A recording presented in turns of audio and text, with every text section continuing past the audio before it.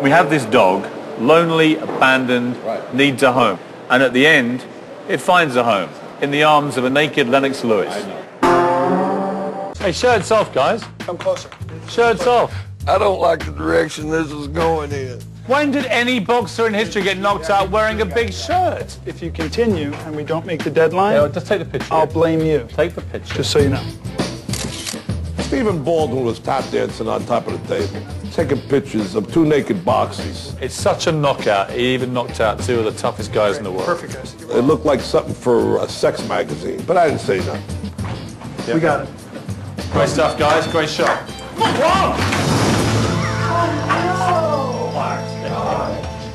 Oh no!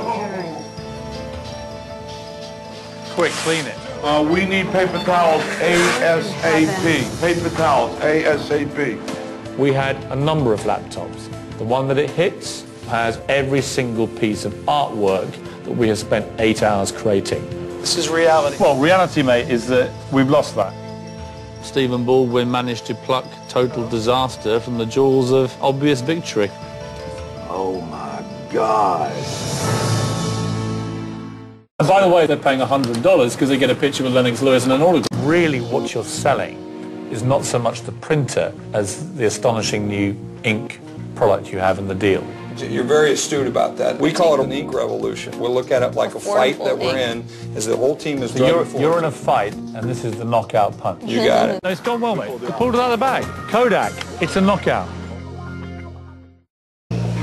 After we went back to the hotel room, I started getting a little worried.